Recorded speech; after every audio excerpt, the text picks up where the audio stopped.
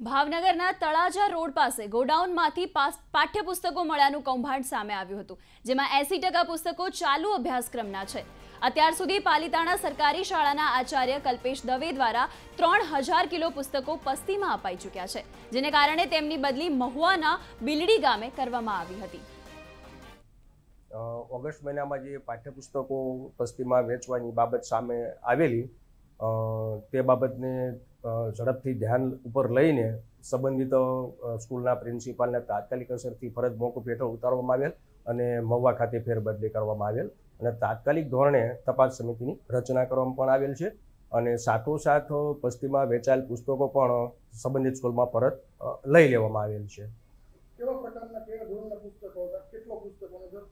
આ પુસ્તકોનો જથ્થા બાબતે અને પુસ્તકો જૂના છે કે નવા એ બાબતે તપાસ સમિતિ નિમવામાં આવેલ છે. તપાસ સમિતિએ તપાસ પૂર્ણ કરેલ છે અને મને અહેવાલ સબમિટ કરેલ છે.